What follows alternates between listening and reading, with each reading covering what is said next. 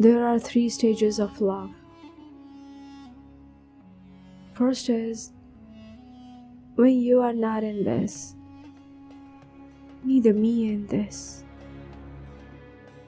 but there is love. Second is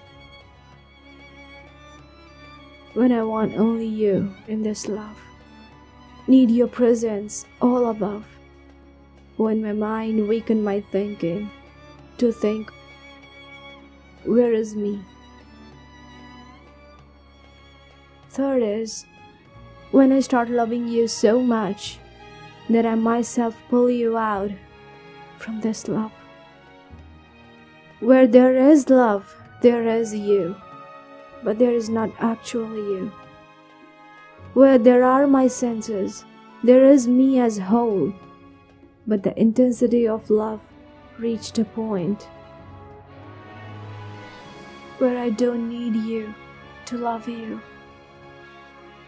where I don't feel necessary to prove my love, where giving proof will limit my love.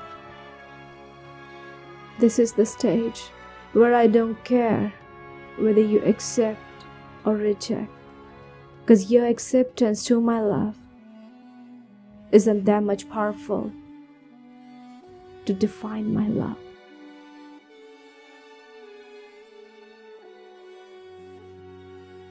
Thank you.